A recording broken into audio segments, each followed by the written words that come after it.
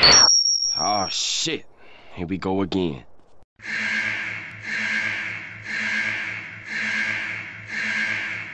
What's up, guys? Welcome back to 2D1C. I'm Reese, I'm Mara. I'm Rob. and I'll be taking the wheel today.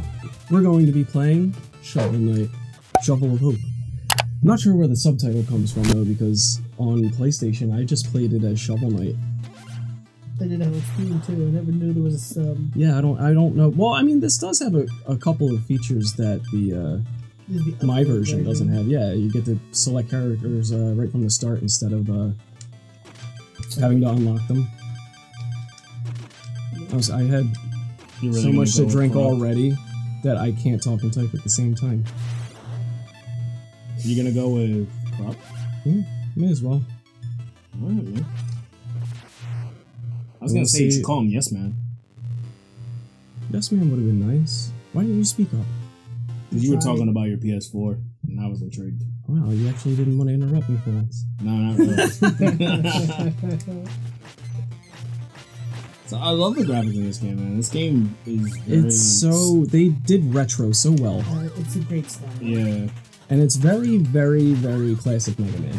yeah. I know it you really agree. is. like the graphics. I mean, you know, the the the scrolling, the you know, you got the Castlevania castle in the background. oh, what the fuck? Yeah, you could just keep shoveling them. It doesn't really do anything. I thought maybe you'd get a trophy if you just kept it up in the air for a long time, but that doesn't It's happen not. either. Although I will say that the music definitely reminds me of Scott Pilgrim. I could see it. It's such a great game that no one will ever play again.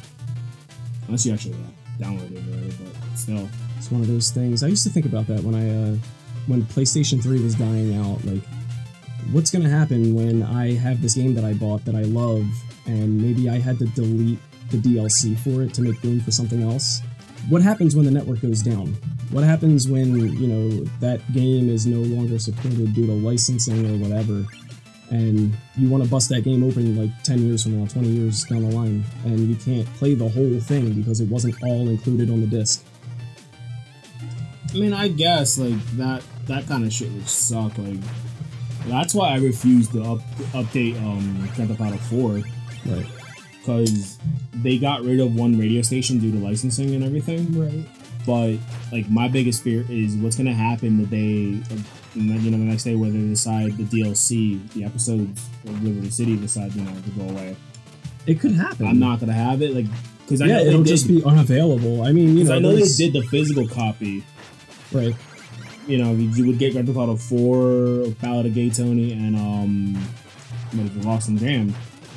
But like my thing was like you have to own the physical copy of that. I have DLC, so what happens when Microsoft decides, you know, fuck it, let's take it off Not the supporting this anymore. exactly. That's my biggest fear with the PS4 We'll too, the just because I have um, I have Silent Hills, Right. That's man. you know, and I I've actually heard that Konami actually is going back to Silent Hills. Yeah. Yeah, So- Did you see We'll that from the video that I that I uh, saved?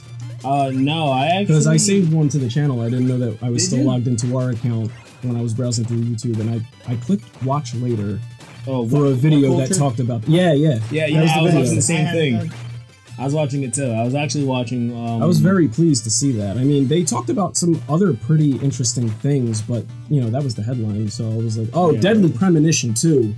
I know nobody nobody else here has a relationship with that game, but that I is hate one. that game, I dude. no I idea what that love it. So, but it's crazy because it's one of the most critically polarized games. It's actually in the Guinness Book of World Records for being the most critically polarized game. People hate it and love it. Some people hate it and love it at the same time, but most people either hate it or love it. So It- my thing no was there was so much for that going for that game, and then they decided to poop all over It's it with just that so- stupid Kinect. It's weird. I mean, I never played it on. Well, I played it on 360, but I never played it with like Kinect. I so played it That's what I heard. I as a budget twenty dollar game, brand new from Best Buy. Best Buy, right? Who buys games there? So how did you play without a Kinect? I thought that was the whole selling point for that game. No, I I didn't. I wasn't even aware that you could play it with a Kinect. I bought it for twenty bucks, and I was like, "What is this?" Like from the cover art, it looked like a budget horror film. So, and even the name sounds like it would be on Lifetime, Deadly Premonition. So I was like, "What's the worst that could happen?" I mean, I'm a horror fan. I'll take it home. If I don't like it, it was only twenty dollars. I took Took it home. Immediately, the graphics were poor. They were terrible. I'm gonna start with that. I mean, I was gonna start by praising it, but I'm just gonna let you know, like, I'm not just in favor of it all the way, but it has its charm. Now, the music is good. The characters are very quirky, and if you're a fan of the television show Twin Peaks, then automatically you'll understand it. And Twin Peaks was equally as weird as that game. If not, the game is probably weirder. But the way that it was set up, small town, a girl died, who did it? A big time FBI agent comes in. The people who work there as sheriff don't like it because they're like, oh, you think we can't handle it? But it's bigger than any of them realize. And it just gets crazier and crazier and crazier. And I could go on, but I'm not going to. So you either hate it, you love it, I've uh, never heard of it. or never Although- heard of it. There's that too. That's- Although, like, it kind of reminds me of like Heavy Rain, though. See, I never got a, I never got the opportunity to beat that game. I wanted to. I haven't got a chance to play it, but I've like watched a lot of gameplay for it, and man, that game seemed like it was. That was its made time by what was It the developer? was. I don't remember, man. They're a Sony developer, correct?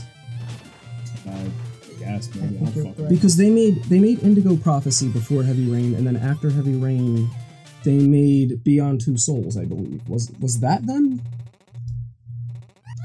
Fuck do I know, dude? I think I It's don't that know. awkward silence of like I used to- looking at each other. fuck. I used to keep up with it very well, but now I'm just not sure.